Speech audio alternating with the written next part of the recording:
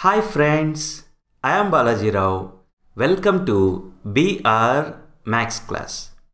This is third class in trigonometry. In first class, we learn what is angle and we learn what is positive angle, what is negative angle. In second class, we, are, we learn measures of an angle. Angle can be measured in degrees, angle can be measured in grades, angle can be measured in radians. In second class, we learn about degree measure, which is also known as sexagesimal measure. In this class, we will learn what is grade measure. Grade measure. Grade measure is also known as centesimal system or French system. Now, we will try to understand what is one grade. First, I'll consider a right angle. you look here this diagram. If two lines are perpendicular, then angle between them is known as one right angle. Consider a right angle. Divide this right angle into 100 equal parts. You look here what we written. Consider a right angle. Divide it into 100 equal parts.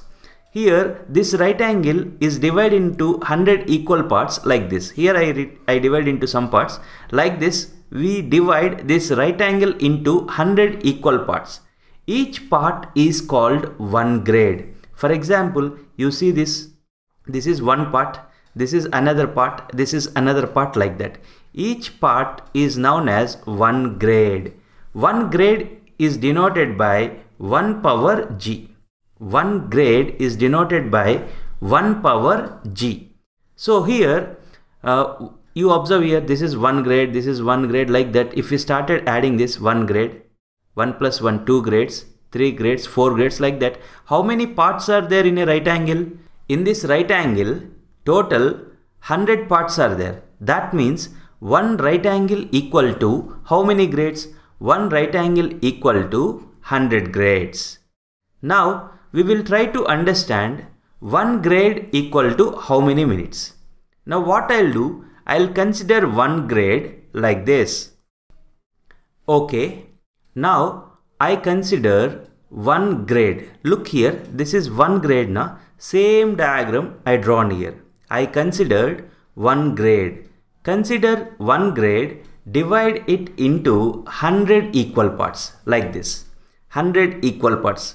1, 2, 3 like this. You divide it into 100 equal parts. Each part is called 1 minute. For example, this part is there. What is this part? This part is 1 minute. 1 minute is denoted like this. In degree measure also we learn 1 power small dash we will write. 1 minute. So here 1 minute, 2 minutes, 3 minutes, 4 minutes like the total how many parts are there? We divided this 1 grade into 100 equal parts. So 1 grade, this one full grade equal to how many minutes? How many minutes we will get like this?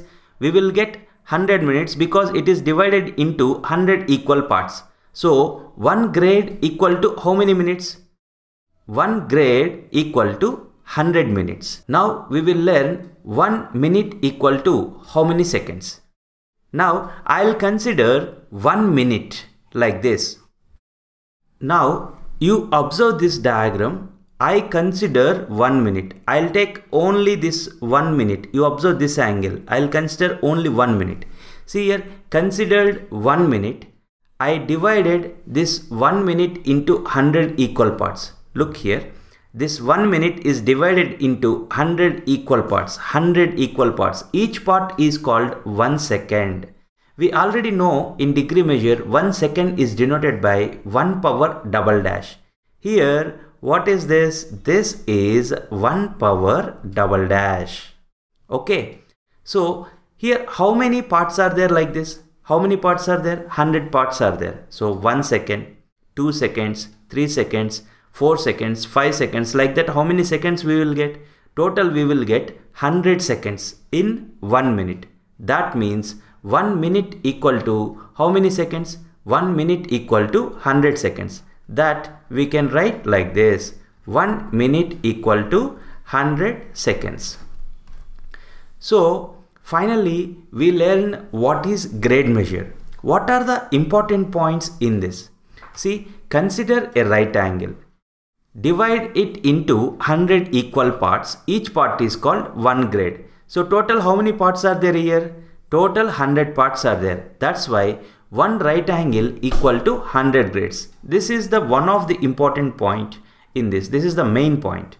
Now I consider one grade. I considered one grade. I divided it into 100 equal parts.